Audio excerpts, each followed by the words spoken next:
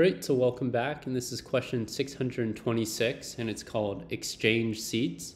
So for this question, we're given a table called Seat with just two different columns. The primary key is the ID, and we're given a name field. And so the name kind of corresponds to a list of students, and all we want our output table to be is just we're taking these lists of students, and for each consecutive pair, so in this case, um, student IDs one and two, the names Abbott and Doris, they're just going to switch places. So, you know, Doris now has the ID of one, and then Abbott now has the ID of two. So you don't just want to be, you know, swapping the names, but also, you know, the values with their corresponding ID here.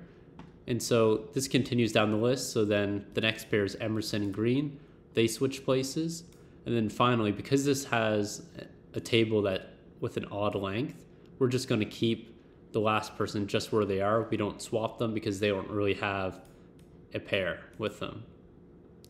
Okay, so for this question, we're going to give a, MySQL answer for it, and we're going to use a, a case function, which is going to handle all this logic for swapping their IDs and their order in the table. So we're going to select, this is all coming from the seat table. Okay, and then so next we're going to have a case statement and this is gonna return the ID column.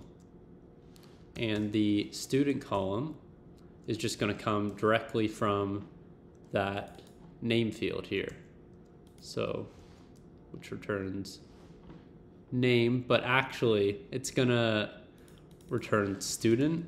So although it shows in this question that the the column name is actually name. It's really behind the scenes student, so they must have you know had an error when doing the documentation. So you might read name here, but it's actually the student field. So it's not name as student. It's really behind the scenes just student. So they messed up there.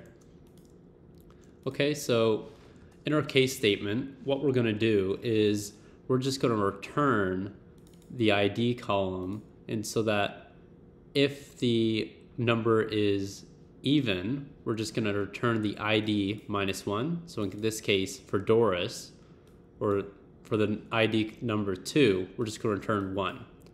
And if the number is odd and we haven't reached the end of our list, we're just going to return ID plus 1. So for the ID 1, since it's odd, we're going to return 2. So 1 plus 1.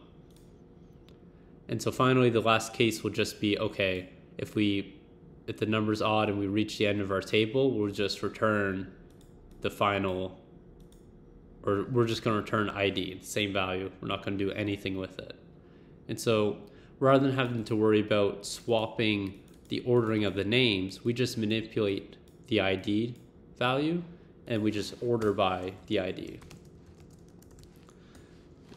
Great, so let's go ahead and do that. So when the ID, so we're going to take the mod of it, which to check if it's even or odd. If it's equal to zero, then we know that the value of this ID is an odd number, so we're just going to return ID minus one. Next, we want to check the exact same thing. But we're going to check that it does not equal zero.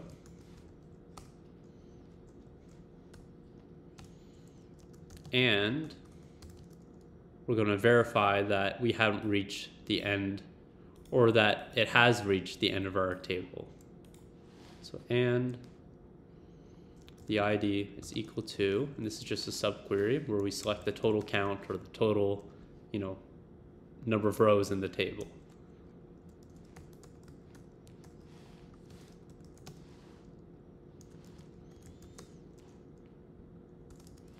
So then we'll just return ID. And so this accounts for this case where you know the, the length of the table is odd and it's the final row in the table. So we just return the normal ID. You know, otherwise, we'll return ID plus one, and so this counts for the cases of one and three here where we want to increment, you know, green, or I guess in this case, Emerson to an ID of four. And so it will be placed below green. Great, so let's give that a run. I think it looks good. And accepted. And success. So it also has a performance greater than uh, 77%. So the case statement also gives you some performance enhancement because um, there's, you can kind of see in these other responses that I had, I was playing around with it where, you know, if you have an if statement here where if you check it's odd or if you check it's even, and then within that if statement, you have another, um, I think it's a nested if statement you would call it, it would then have this check inside of it. And so that's actually much slower than just simply using a case statement where you just handle the three cases. So uh, good thing to try to use a case statement whenever possible rather than a, a nested if statement. So I, I hope that helped and good luck with the rest of your algorithms. Thank you.